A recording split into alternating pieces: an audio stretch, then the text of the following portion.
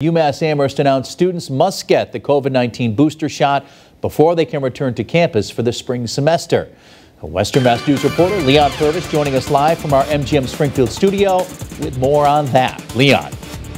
Chris, the university says that students should get their booster shot by January 25th, 2022. So that means students who were fully vaccinated on or before July 25th must get an additional shot before going back to the classroom. But Western Mass News wanted to know what happens with students who got vaccinated after J July 25th and won't be eligible for a booster until after the spring semester begins. The university tells us those students will be expected to get their shots as soon as they become eligible. UMass Amherst spokesperson tells us in a statement our data shows that 85% of students are now eligible for a booster. To a large degree, it's the international students who received vaccinations later than others and are ha- and have a trailing schedule.